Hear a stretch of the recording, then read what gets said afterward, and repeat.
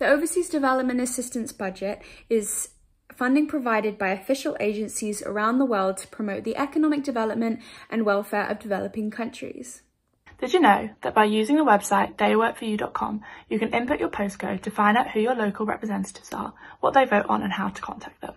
My name is Liv and I'm asking my local MP to support the Overseas De Development Assistance budget. My name is Tara and I'm asking my local MP to support the ODA. Write to your MPs about protecting the ODA budget and progressing to hitting that 0.7% target that has recently fallen. Not only can we urge them to protect it, but we can express our passion about the government leading us as changemakers. My name is Megan and I'm asking my local MP to support the Overseas Development Assistance budget. My name is Michelle and I'm asking my local MP to support the Overseas Development Assistance budget. For more information, go to theborgenproject.uk. Thank you.